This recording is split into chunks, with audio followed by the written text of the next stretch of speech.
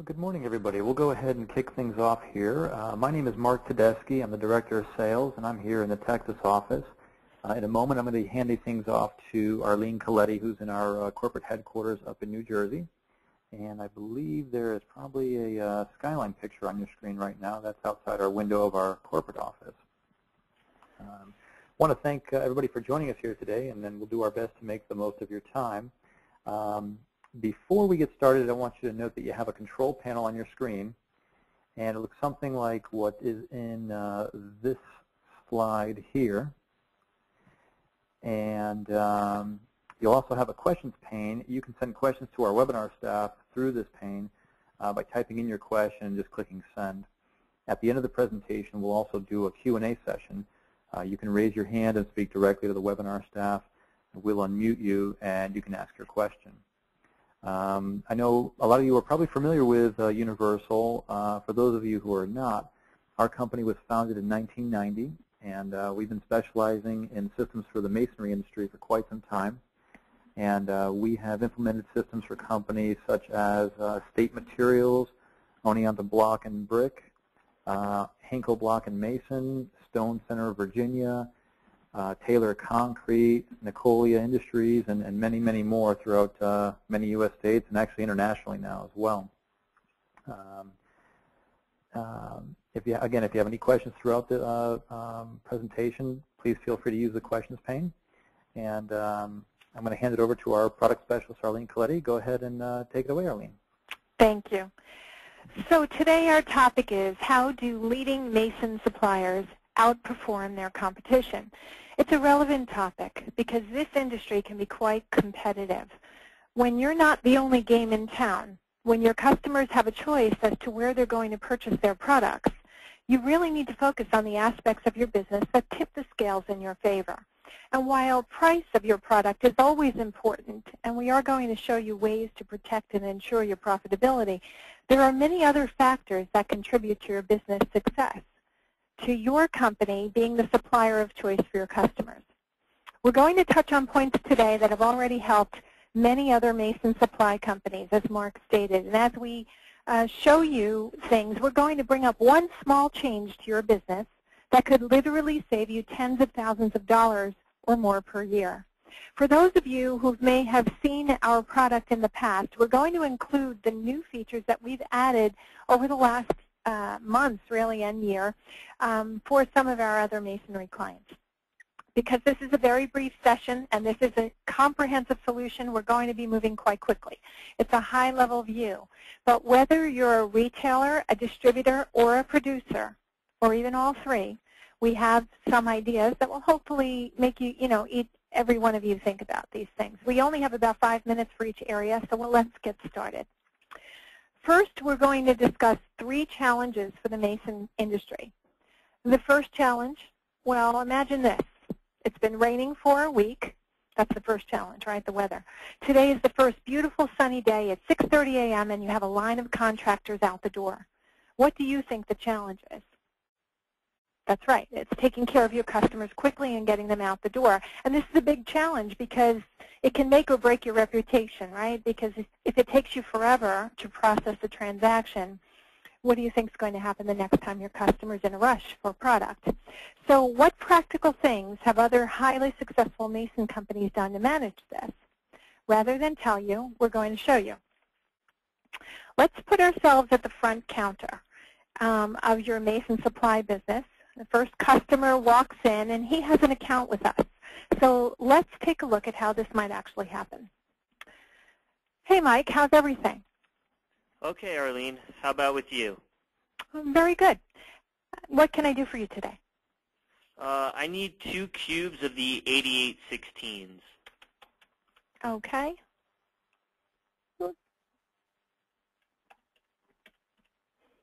Did you want that blade you're holding as well?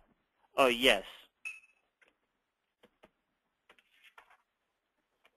What else can I get for you? Uh, also, I needed some easy sand compound.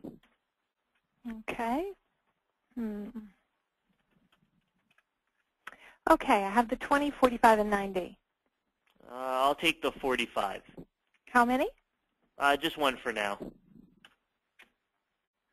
Is that it? Yeah, that's it. Uh, can you put that on my account? Hmm. Um, you know, Mike, you're a little bit over your credit limit. Um, do you want me to refer this upstairs to accounting for approval? Uh, no, that's okay. I'll just give you a credit card. Okay, that'll be great. I'm just going to swipe your card.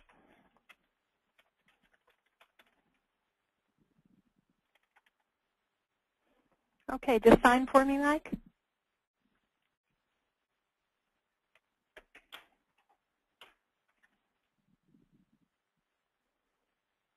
Okay, here's your invoice. And I think you're good to go. Thanks, Eileen. Thank you. I could have given him a receipt, small size receipt, not so small. It's a 4 by 4 size receipt that also incorporates the signature. And some masonry uh, companies use this as a yard ticket with no prices, more for a loading document, but you have your options. Now, did you catch the five elements, at least five, that were in that transaction to speed things up? Well, we are going to review them.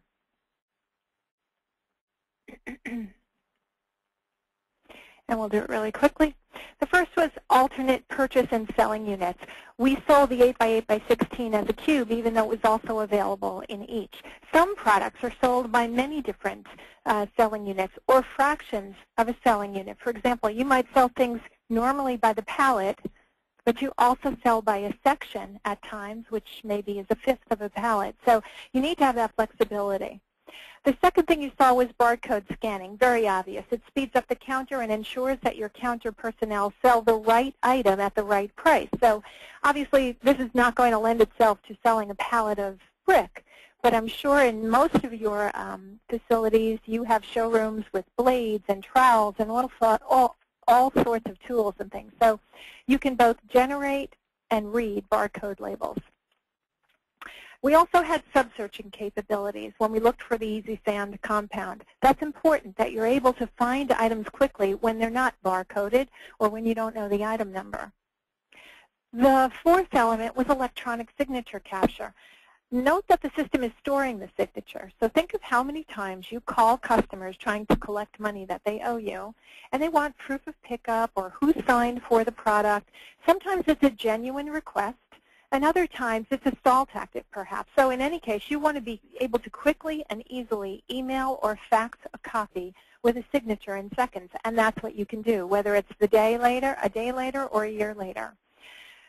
You can give the customer an invoice with prices or not prices. I didn't show that to you, but I just wanted to point that out.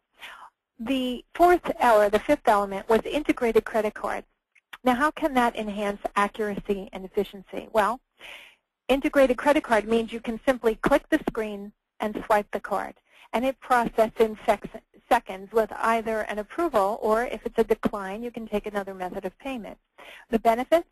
Well, your staff is not swiping the credit card on a standalone unit and punching in an amount, which leaves a huge margin for error.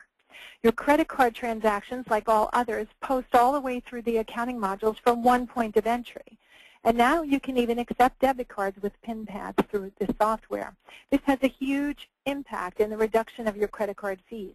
And the new legislation, which went through this year, or a couple of months ago actually, makes this even more of a benefit to you. So if you're not taking debit cards, you should consider doing so.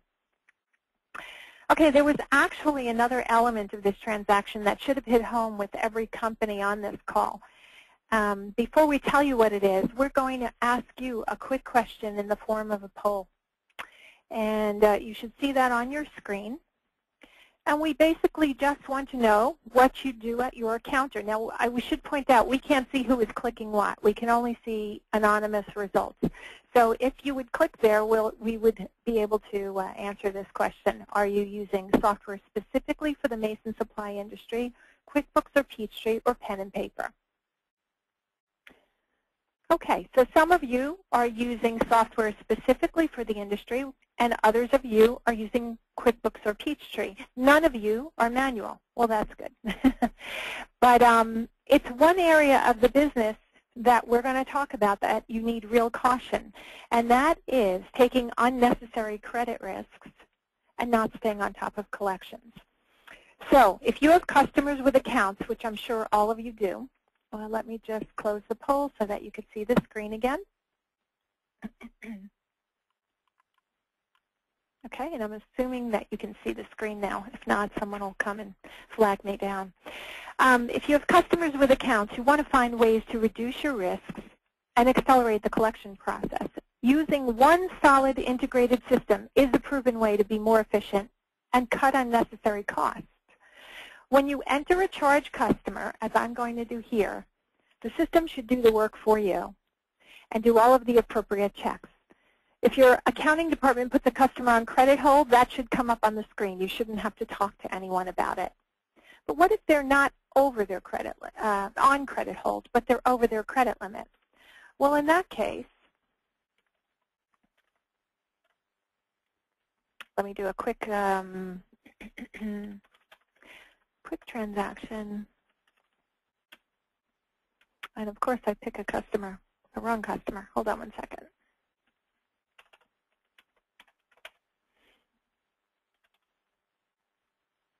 Mm, mm, mm, mm. Just thinking.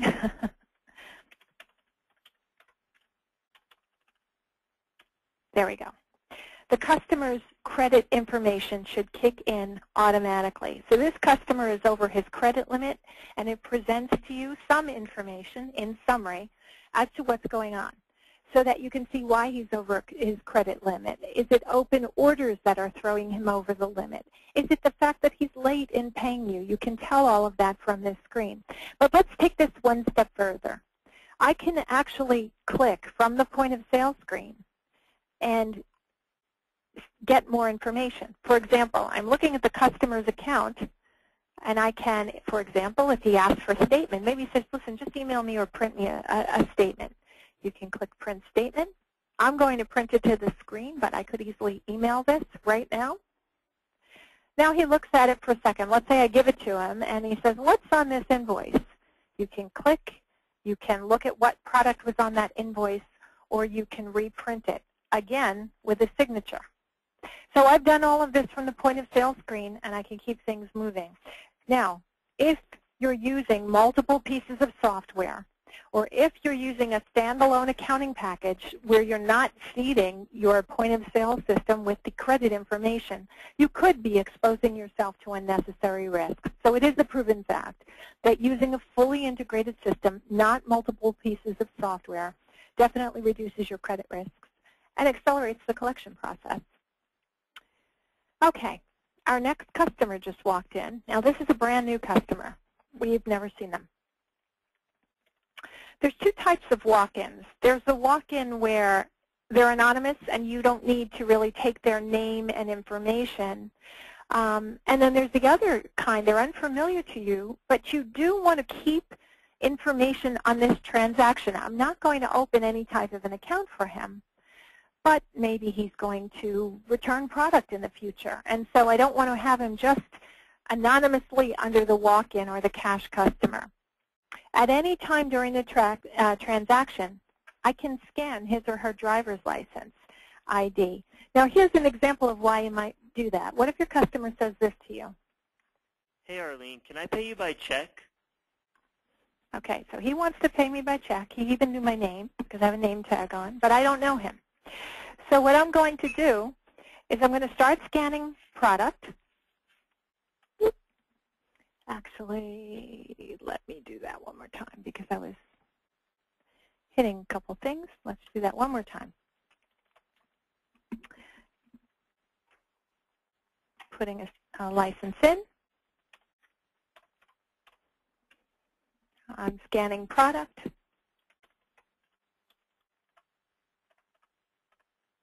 My license expired. So it did tell me that. That's one good thing to know because they might have found this on the street, and so now they're giving you some an expired license. But it pulled the information and the image. So you have that on file. Even though this is not a customer in your customer database, it will be permanently attached to this transaction. So if this person tries to return product, you'll be able to look at the ticket and know if it's the same person, know if they bought this product, and so forth. Because you'll be able to look it up by this information that was extracted from the magnetic stripe on the back. Okay, so you can use that driver's license principle to add new customers at the counter. So if you have people at the counter who maybe typing isn't their uh, most favorite thing in the world or they're not that fast, putting in a driver's license when you're adding a new customer will pull this information to the appropriate fields and again keep the image.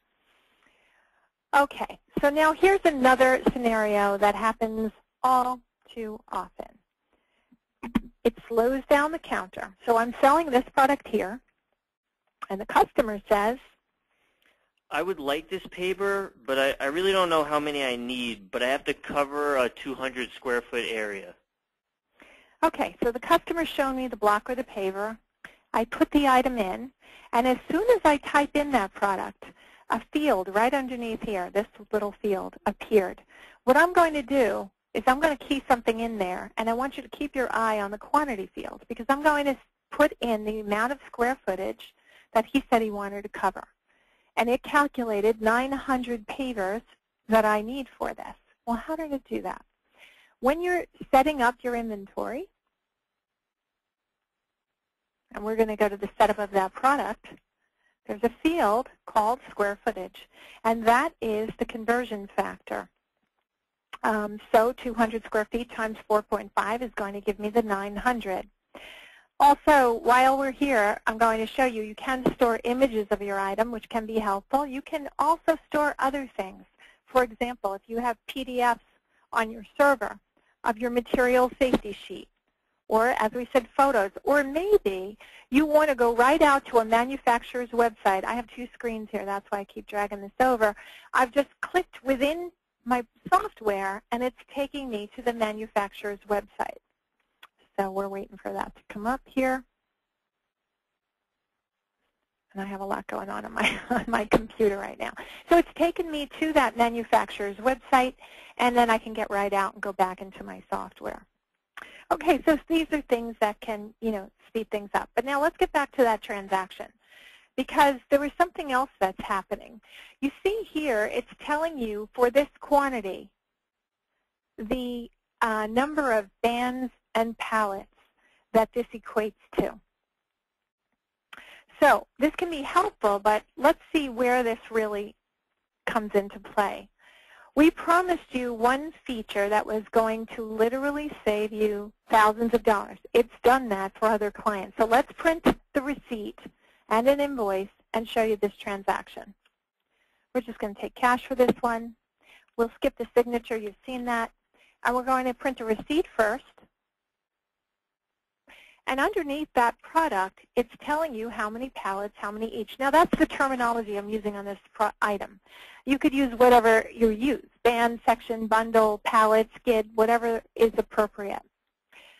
Notice that that also prints on the invoice. and it prints on any picking or delivery documents without prices, which is ideal for loading documents. So what's the practical application of this? Well, we've had clients who've said to us, you know, we do a lot of transactions per day. During busy season, it gets crazy around here.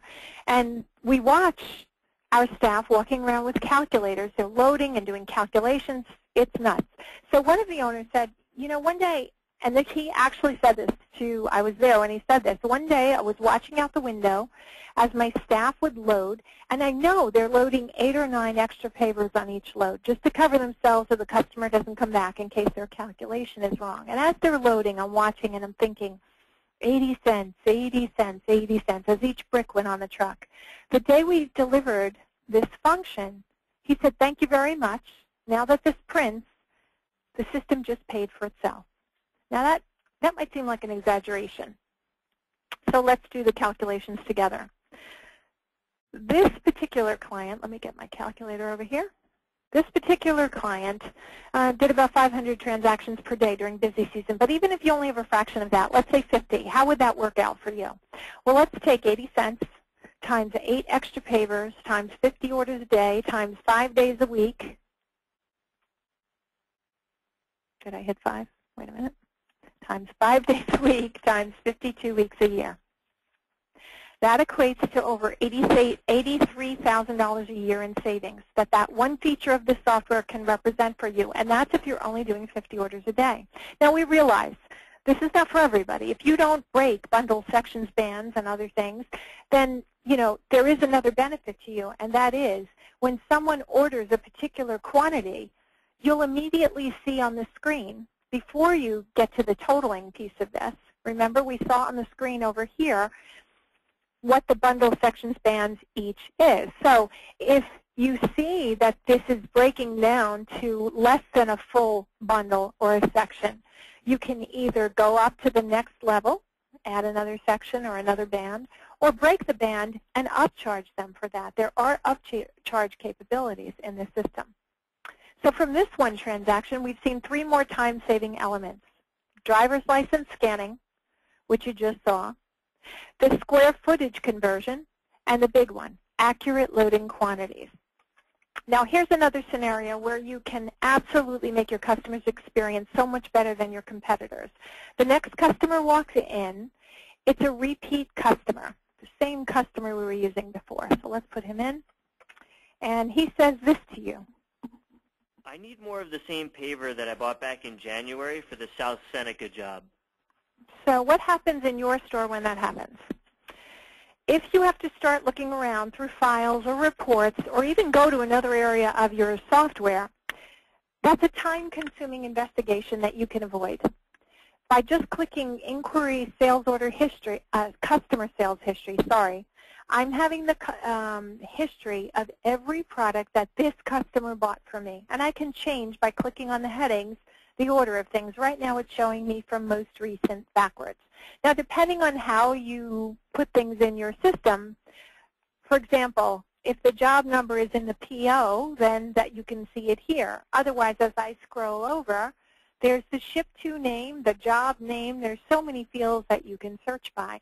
Once I find the South Seneca job back in January and I look, I can I say, okay, it's this um, paver, then I can highlight it and copy it and I'm good to go there. So pulling up sales history quickly is something that happens throughout um, a good, any good system. Another issue that seems to be complicated in calc is calculating true product costs and then setting sell prices. When you think about being the preferred vendor over your competition, it usually comes down to two things, right? It's customer service, which we've just discussed, getting the customer out the door as quickly as possible when he's in a rush, and pricing.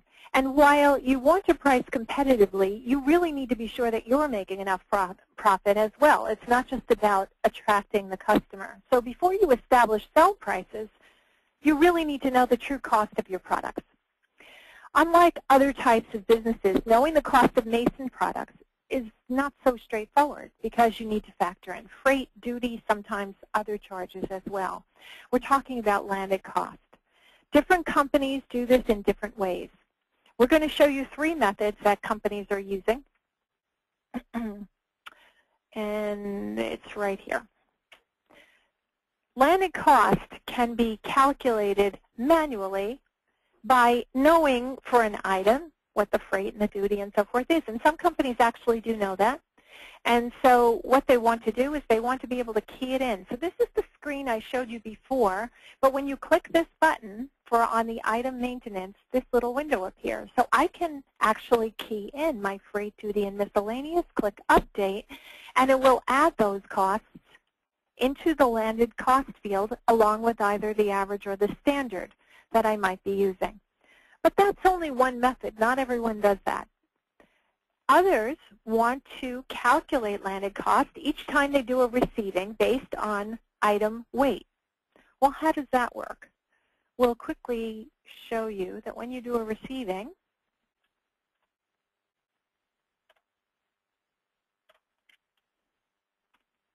I don't remember the PO number. There we go.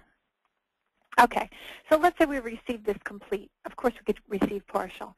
In this case, it's showing me that on these products, I already have the item weights in the system, which is great. If I didn't, I could enter them from this screen and have that write it back to the inventory maintenance because maybe, for example, sometimes we convert companies and they didn't always have software that kept the weights in the system. So now that they do, they're adding them as they go along. Okay, so now the weights are in there, but what about the freight? So let's say we're going to add $2,500 worth of freight, and there was $300 of duty, 200 of something else, and even some tax for some of our uh, foreign clients. That's important. So you have this money now here that is going to be allocated by the system, and this is just here to show you that it's been allocated, both the freight dollars and the miscellaneous dollars based on the weight percentage of each line item. It's, it's um, um, allocated all of that money and even goes right down to the unit level so that you can get and arrive at a landed cost per purchasing unit. Okay, that's the other method. Now there's one more, and that is by dollars. So it's the same principle, but instead of looking at the weights of the items, it looks at the line item dollars of the purchase order and figures out each percentage of the line item versus the total dollars received on that purchase order and allocates the freight with that percentage, regardless of the method that you use. The fact that you know your landed cost is very important, right? Because A, it's a great reference for you, and B, you can base your pricing on a more accurate cost. If a paver costs you 80 cents, but it costs you 95 to get it to your uh, location, then you really should be basing your pricing on your freighted cost. And if you can build formulas on that, as I'll show you here, let's just take an example. Let's take an example of an Eagle, sorry,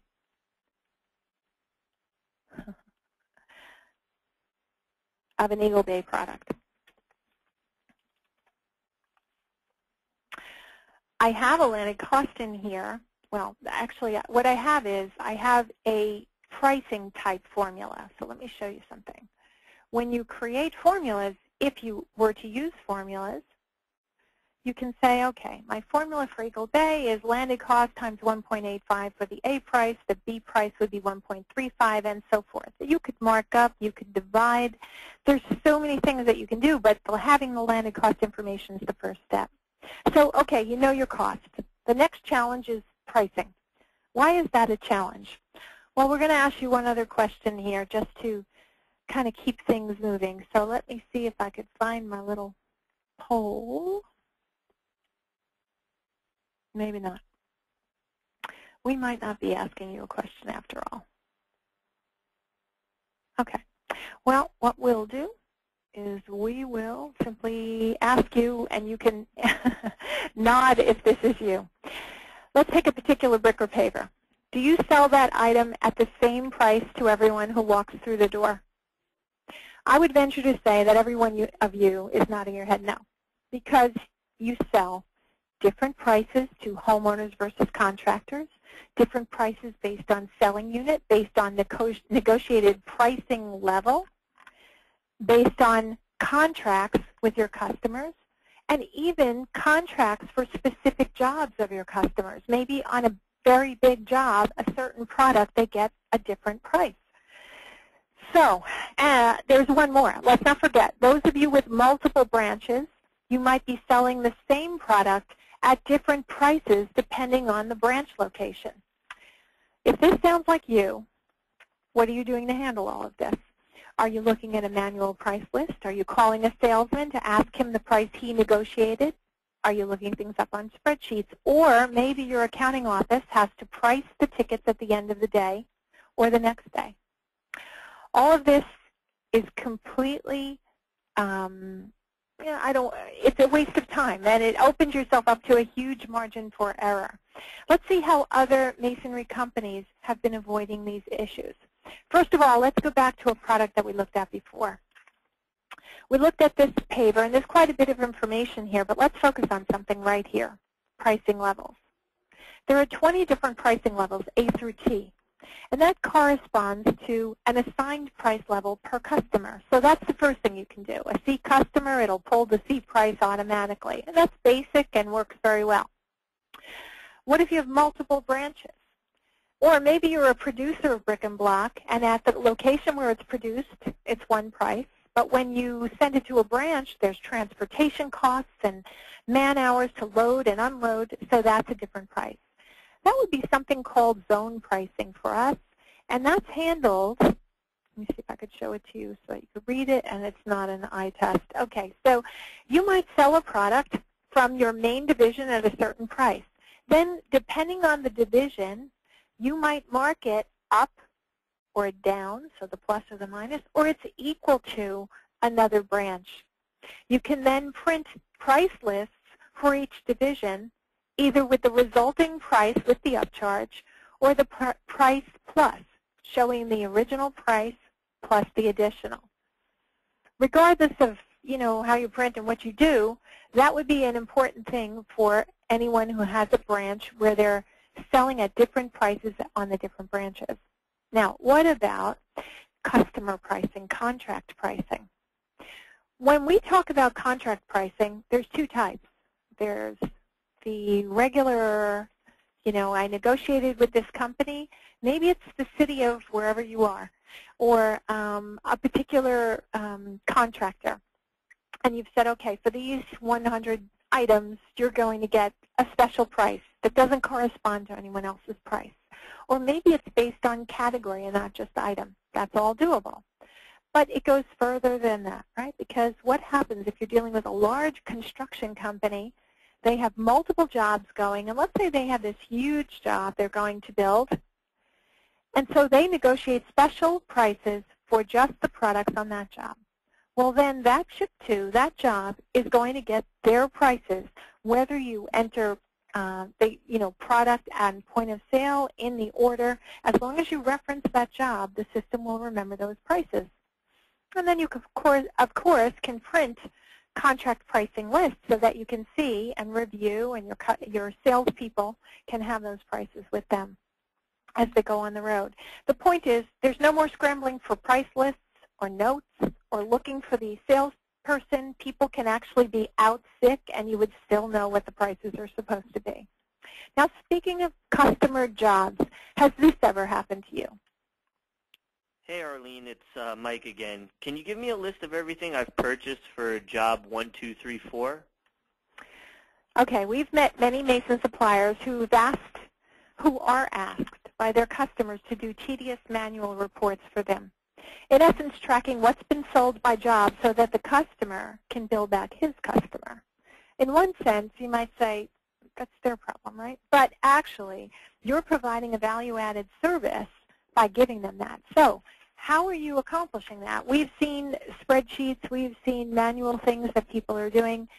Let's see if this is easier. The customer job tracking report, I'm going to run it from, no, that's not what I'm going to run it from. I'm going to run it from 1-1-2011 for this customer. As soon as I put in the customer, I can pick his jobs. We're going to pick, let's pick all jobs. And the job tracking report is now being printed for all jobs for this customer from 1-1-2011. The first section has no jobs. So these are products they bought for themselves. But as you go down the list, now we start with their jobs. So some jobs had a couple of items. Some jobs had extensive items. So the fact that you can give this to your customer quickly, you could email it to them almost immediately, is something that no big box store can do. Not Lowe's, not Home Depot. They're going to come to you if they want service like this. Okay, we understand that not everything happens at the counter. If you take phone orders or do you have salesmen on the road, then you no doubt issue quotes. So when you enter lengthy quotes in your system, as I've already done, so I'm going to bring one up for you. What happens if you enter a quote, an extensive one, like I'm going to show you, I just entered this quickly before this session, and actually I cloned a prior quote, which is something that you can do in the system, so you can pull prior orders and replicate them and then edit them. But in this case, this is a huge job going on in town, and three of my customers are, are uh, trying to bid on this job.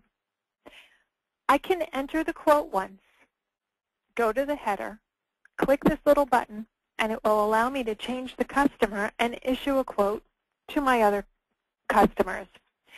When the job is actually awarded, I can you know, put that customer in there, convert it to a sales order, and automatically the product is then allocated.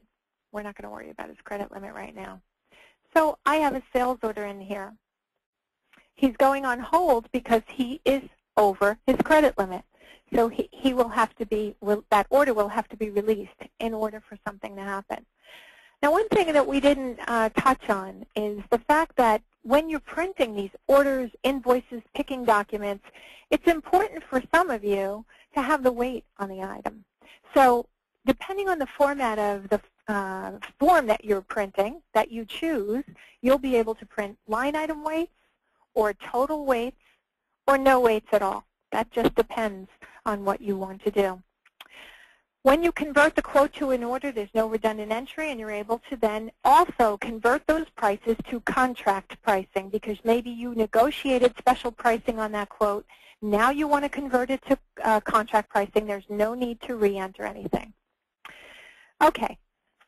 So now what happens if your contractor calls you yesterday asks for product, says he's going to come in today or later that day, whatever. Do you need to, at the counter, let's put ourselves back at the front counter where we're always looking at this screen. Do we need to get out and go to sales order and invoice that in a different module, slow down the counter? No, we don't. We can enter that order right here. Customers on, on hold, but this is the order that we just did. I would be able to, and the, the fact that this is coming up on hold, by the way, should be important to you because if the customer comes in at the counter thinking he's going to bypass the fact that he's over his credit limit, he won't be able to do that. So with all of these controls, you can really protect your, um, your uh, collections and your profitability and still keep the counter moving. Okay, three quick questions, three quick answers. What about aggregate sales? Do you have a truck scale in your operation? If so, how is that incorporated into your front counter? Or is everything standalone? To maximize efficiency and be sure that you capture every sale without someone, for example, driving off without the transaction being recorded or billed, a scale interface will help you with that. So we're just going to show you very quickly. Um, you have two little buttons down here. This is the button that reads the scale order. This is the button that is a scale entry. I already have entries from an actual scale here. As I click on any one of them and I show you the screen, here's what actually happens. I would start with a blank screen. I'd look out the window, probably know that the truck is sitting on the scale. I'd do a click and the scale would start reading the weight. It would give me an in weight. I can tell the system whether it's a truck, a trailer, or a pickup outside. I can also tell it how many people are in the truck, which is one thing we just learned recently at, at a masonry yard, that sometimes, you know, they pull in with two people and then somebody jumps out, or three people, and two people jump out, and there's more product that can go in for free. So uh, we're trying to outsmart, outsmart everyone. Um, you're able to put in a color or type in the type of um, you know, um, truck that's sitting on the scale. And you would close this screen with no out weight. Then when the system, when the uh, truck is loaded and it comes back on the scale, it knows the tare weight. Now it's going to calculate the net weight. And at that point, you're able to, let's show you this, take the completed, put in your product, and the system knows how many tons in this case because it's all by tonnage on the truck. Okay, one other little thing about this. If you're loading your own truck to go out, if you cre create a truck file, you can tell the system the tare weight of the truck, right, the empty weight, and the maximum weight. So why is that important? Because when you put product on a delivery ticket, the system will flag you when you're over the maximum weight, which is really important so that you don't, uh, you know, uh, you don't receive citations from the police and so forth, and you don't really endanger anyone. Okay, third, second question and answer. Do you ever send out a delivery and expect your driver to collect from the customer? So if you do that, how do you track it? Manually, a clipboard, or we hope not, but your memory. If your memory is anything like my memory, this is a scary thing. So here's how other masonry companies are handling this. When the driver goes out, let's just say he's going with 10 pallets of this. We know he's over his credit limit. This amount of money is due from driver rather than faking the system or saying that I'm billing it because I'm not billing it because this customer is over his credit limit. I can put this amount in the due from driver. And that will print on the bottom of the invoice. That is, I'm not going to print right now because I want to kind of keep this moving. Well, maybe I am. okay, let's show you where that money went. It went to the due from driver report. There's that $4,000. That ticket, when the driver comes back, can be completed.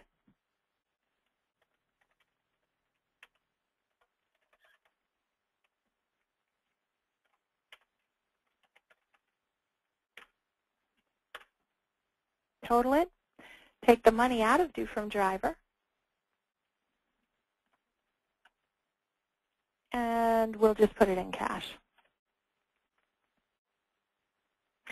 So what's the benefit of this? Well, if this goes overnight, if the driver was, you know, 200 miles away and he can't get back, you will not lose track of what money was due. That's very helpful. Final question, do you have a ready-mix operation? If you do, are you using ready-mix batching systems such as Sysdyne or Systech? Uh, there's Command Alcon out there. If you can integrate ready-mix into your system so that the ready-mix tickets are uploaded, and then you can generate your invoices either in a batch, usually in a batch, um, then that's going to save a lot of trouble, right? Because it's all going to be from one system, and you're going to be able to have one accounts receivable. Okay, final point. Some of you are producers on this call. What do you do? Do you track things in Excel spreadsheets? Do you have a little, uh, you know, access program? Well, if you can integrate block and brick management into your system, then you can track the raw materials. You can upload the finished products with just a click. So we're just going to quickly show you the concept. And the concept is this. You have different mix designs. For example, at M21. Here I have all my raw materials. And if you look here, I have lots of mixed designs. Those mixed designs, well, I don't really have lots of them. I have maybe six of them. But look how they're used. They're used in block setups. So if you look down this list here, the same mix type can be used in many different products. It might be um, a varying ingredient, if you will, um, on some of them, but that can be added on the production order. So when you have these block setups, there's no need for redundant entry. What happens is when you look at your um, production orders, let's see if we can just look at one that's already started here. Here we go. So if you look at this, you can create a production order for stock, if you spell it correctly, or for a particular customer's sales order, if it's a special order. Once you create that, you can track the batches that go into the hopper every day or during a particular day, and you can add batch information. So once you do this, you can say, okay, you know, I had this batch and uh, this quantity. Just add the appropriate information, the run hours, the down hour, uh, hours, and then your product. What products did you use? It's telling you the potential products, but you have to tell it what you actually used. It's going to deplete those raw materials, and when the job is completed, upload the finished goods into your inventory. You can also track labor hours, general and administrative overhead. You can even have the system attribute an overhead factor to your labor hours. All of this winds up in reports. And these reports can be just critical in helping you to see that you're making enough profit on your jobs and so forth. Um, so we'll leave you with this report just to give you an idea. So for producers, obviously we gave you the least amount of time, but um, you know it gives you a good idea of what you can possibly do. So this is what some of uh, other companies in the masonry industry are doing to get that edge, to keep things moving at the counter, and to keep their inventory accurately and have all their accounting handled. Uh, at this point, I think we're going to turn this over. We kind of overstayed our wel welcome a little bit. I'm sorry for that. And I'll turn it back to you, Mark.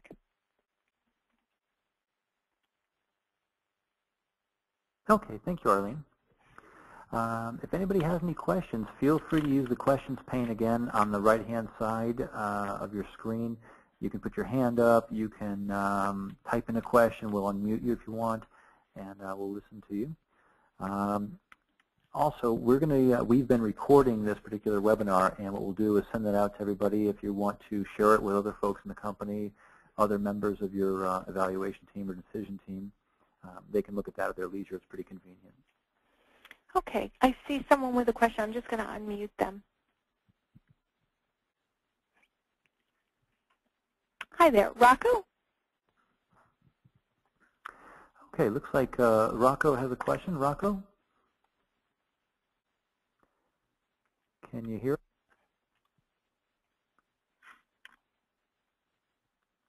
Maybe we're having a little audio problem. Maybe. Uh, it looks like you're using your computer microphone. Um, I don't know if you have it locally muted as well. Maybe that uh, would open it up for you. If not, it's okay. If you want to type your question in the questions pane, we would see that. Okay. And, well, uh, we can always contact Yeah, you can always yeah email it to us as well later on. Sure. In fact, we've got the um, uh, the contact information slide open right now. Uh, feel free to give us a call there, or you can uh, email us directly, and we'll be happy to help you out. Uh, any questions at all? Okay. Looks like um, uh, we're all set here. If anybody has any questions later or if you want more information, again, please feel free to give us a call. Our corporate number is 1-800-536-1633 and dial extension 1 for sales. And uh, we look forward to hearing from you. I do Well, see like- question in the question yeah. It looks like Rocco's question came up. okay, I can't see it, but can you, Mark? Uh, where can we find out more information about your production accounting software? Best way to do that would be through a personal demo where we'll take you through every aspect of the software. Um, I see that um, right now you might be using MAS 90. Um, I am somewhat familiar with that, so we can, you know, talk about the, the comparisons. Our brick and block production was written specifically for that. It's not a general bill of materials. It was specifically written for brick and block based on a couple of the companies you saw at the beginning of this uh, session. So we definitely could have a, you know, a one-on-one session on that, and we'll definitely contact you to do that. Yep. Okay, great. Any other questions? Okay, great. Well, we appreciate everyone's time for joining us today. We hope you found it useful, and uh, we look forward to being in touch with you shortly. Thanks. Have a great day. Thank you.